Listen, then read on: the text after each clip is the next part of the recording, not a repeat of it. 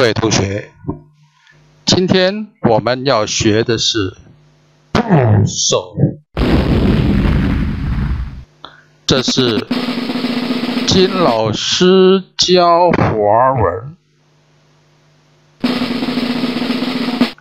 首先，我们看部首，说汉字，木是部首。有什么华文字是用木来做部首的呢？同学们，树林就是树木的树，林子的林，还有学校的校。什么字是用雨来做部首的呢？各位同学，雷。电、雪花的雪都是什么汉字是用 khoảng 来做部首的呢？同学们，厕所的厕，桌位的桌，玷污的玷，还有。你睡的床，口部首的字，那就更容易了。吃东西的吃，喊叫的喊和叫，叶子的叶，吐口水的吐，都是用口来做部首。接下去我们加一加，组一些新字。火和冰是什么字呢？对了，那就是灯。雨和田是什么字呢？对了，那就是雷。四和叶是什么字呢？对了，那就是。题题目的题，木和烧是什么字呢？对了，那是树梢的梢，丝凹梢。北和月是什么字呢？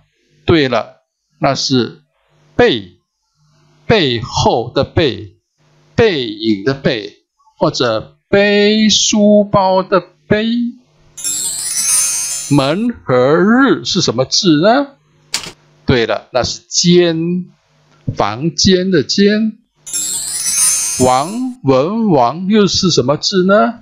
对了，那是黑斑纹的斑。三个日，也就是三个太阳是什么字呢？对了，同学们，那是金，亮晶晶的晶。接下来。是加部首主新字，啊，这五个字，同学们想一想，可以加什么部首？加一个部首，中间一个部首，然后可以组成这五个字呢？对了，是心。啊，第一个字是念，念头的念。第二个是想，第三个是休息的息，第四个是意，意外的意，意念的意，第五个是宁，也就是想念您的宁。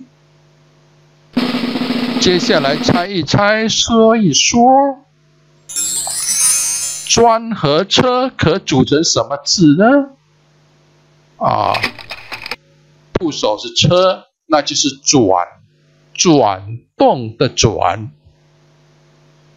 接下来再猜一猜，说一说，左看两点水，右看水两点，细看不是水，悄悄硬邦邦，说出一个字来。